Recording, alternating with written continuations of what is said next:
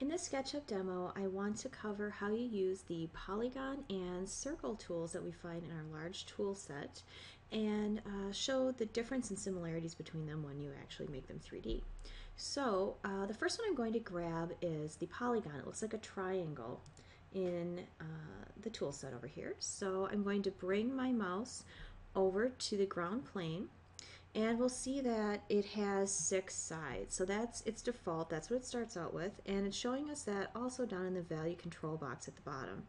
If I'm happy with the six sides, I can certainly just click where I want this object to start and pull my mouse out. When I do that, I am able to snap to either axis if I so choose. And I can also type in the radius. So this would be the radius of the you know the circle that this polygon would really be uh, associated with. So I will say maybe four feet and now I have this polygon with um, a four foot radius. If I want to create another one with the same number of sides, I can simply click and follow the same procedure and that will stay active uh, on my screen. When I'm done, I simply hit the spacebar or hit the select tool to get out of that. Might just select a couple of these and delete them. If I want to do a polygon with a different number of sides, I need to go in and reselect the tool. And now instead of six, perhaps I want to do three. So I'll type in three, enter, and now I have a triangle. When you're creating, uh, you know, circles, shapes, whatever it might be, is going to be starting at the center point here and it will allow you to snap to other objects that you've already drawn.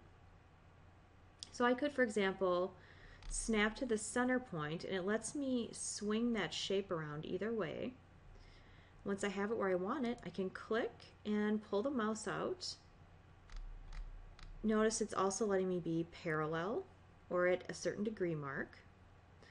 I will pull that out and maybe I'll get a number here, five feet.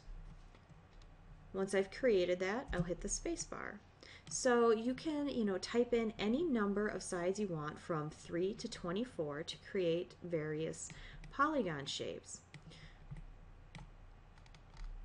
If I come off to the side, I'm just going to use my pan tool. I typed in H, it's a shortcut for the hand or pan tool and maybe I'll make one with the maximum number of sides. So I will come in, pick my polygon, and I will say 24. When I do that, what it looks like is essentially a circle. Okay, but if I were to actually pick the circle tool, which is right above it on the tool set, click and I'll just pull out. All right. They look the same now, but when we put them into three dimensions using, using push and pull, you'll see that they're very different.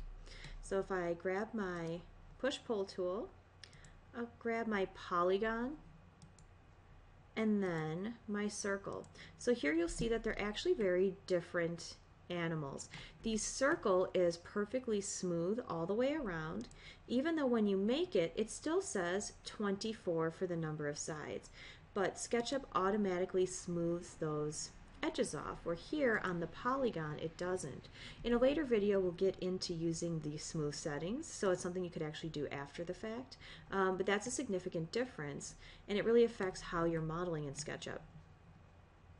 Notice that I can also grab the push-pull tool and select any of these sides and manipulate those as well. So those are all editable faces that the circle doesn't have. Over here with our uh, shape that we've created uh, with these two polygons, you'll see that at this point we're, we're really divided up into three individual faces and it's creating sort of um, a weird situation, right?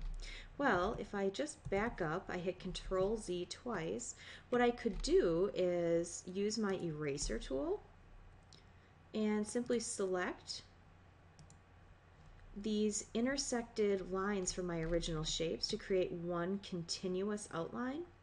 Then I could use my push-pull tool and now I have a more interesting shape uh, than I would have on their own. We can of course grab these faces and edit those as well. So that's, you know, the basics of using the polygon and circle tool. And this is a very good illustration of how those two are different, even though in the initial 2D phase, the polygon and the circle, both with only four sides, basically look about the same.